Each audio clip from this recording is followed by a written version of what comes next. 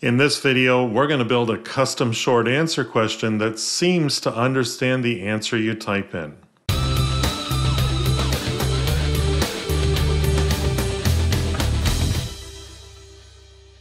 I'm Paul Wilson, and I make videos about e-learning, specifically the authoring tool Adobe Captivate.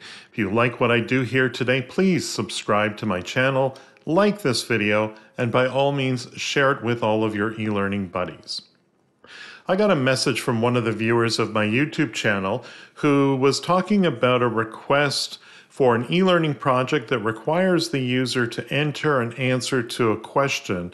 And then there's a button to be clicked and it would show ChatGPT or another AI out there and the answer that is, of course, the correct answer from the AI source there.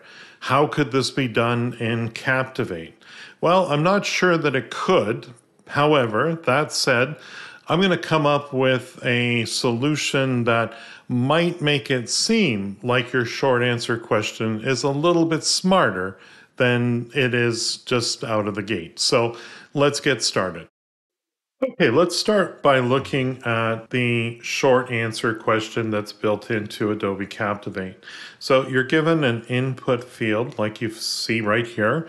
And uh, one of the things that you can do is put in all the possible answers. So I could type in analyze, design, develop, implement, evaluate. But here's the problem. I started thinking about this and you've got all these different variations and I'm just using capital letters in this case because that's what I plan to use in my custom solution but it literally could be double this because of the number of possibilities.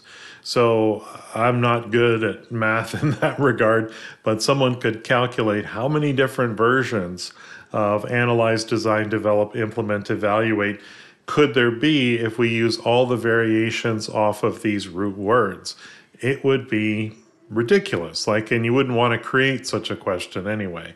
I'm just going to cancel out of this and I'm going to go to this slide here where I've started to build my own custom solution. So let me break down what I have on the slide here. So very first thing I've got is a paragraph block. And what I've done is I've just put the body text here and uh, the default state is really the same as the correct feedback except that I've lowered the opacity down to zero. And then there's a correct state where I've got the correct message and the answer that we're looking for, and an incorrect version of that same message here. So I'm just going to leave this as the default state for right now. Next, I have a input field block where I've got my label, my input field, and I've selected one of the variations in the design options to give you lots of space to write your answer if you wish.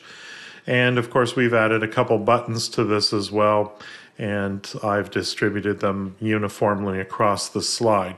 The next button will simply take you to the next slide, and I've set that up to be not visible in output. So you have to at least try to get the answer in order to get the next button to proceed. And the submit button is where all the action will take place. So let's go into our interactions icon in the right hand toolbar here. Now we're going to need to set up a whole series of conditions because we need to look at basically these same words and figure out okay well what what common combination of characters makes up the root that's in all of these words. So I'm going to keep this little notepad document uh, handy over here in my other monitor here. And we'll start to build the conditional interaction that I have in mind here. So first I'm going to click on plus. And you might be thinking, well, okay, it's usually for a lot of these, it starts off with if some variable equals. Well, not in this case, because if we choose variable, we're actually limited to only a certain number of conditions. In this case, we're going to work with the content of the element. Now, I'm going to set up the input field to only accept uppercase letters. So we're going to put our answers in all in uppercase in this case here. So I'm going to select the content of the element. And in this case, our element is our input field.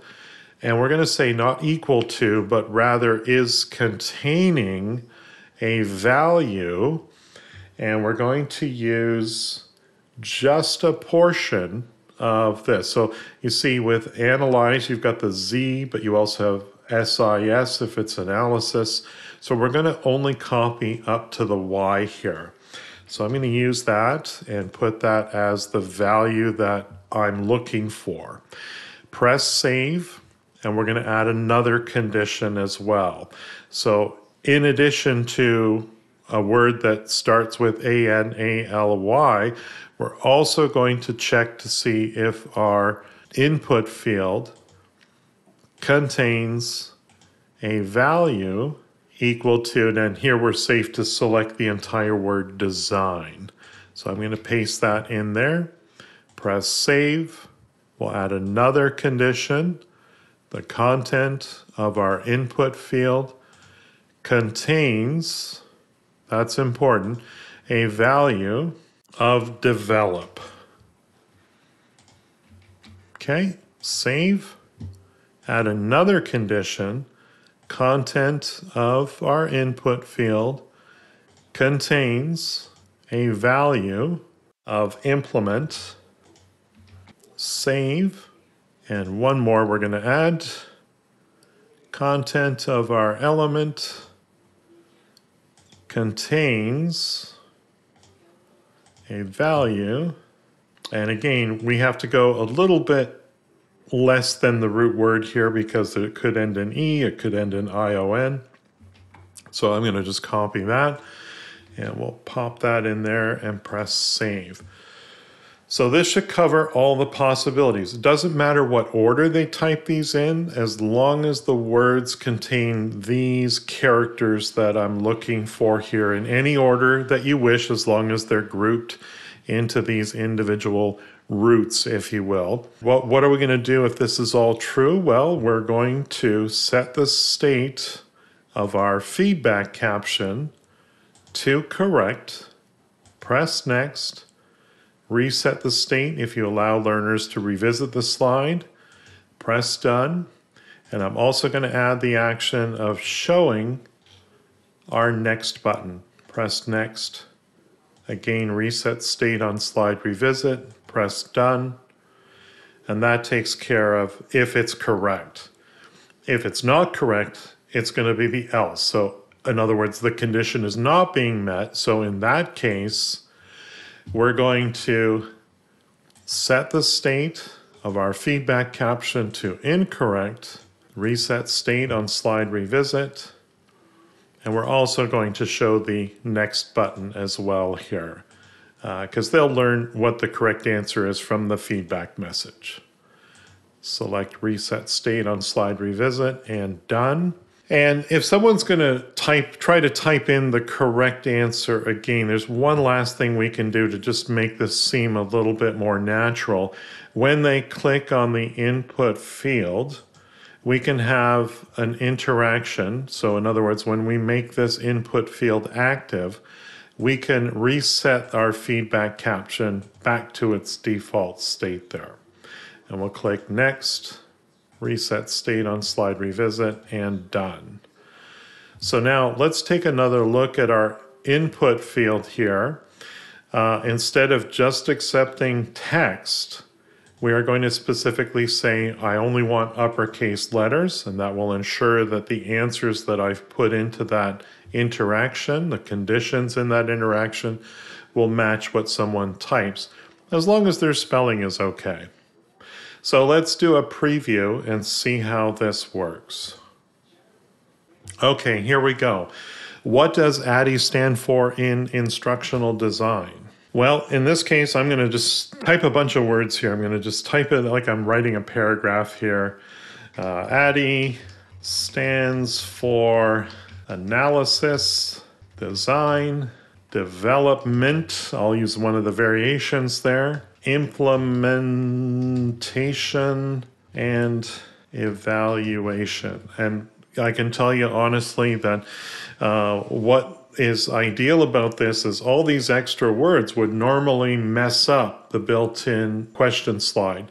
If I press submit, I get the correct answer. Even though I added all those extra filler words, it just found analysis, design, development, implement.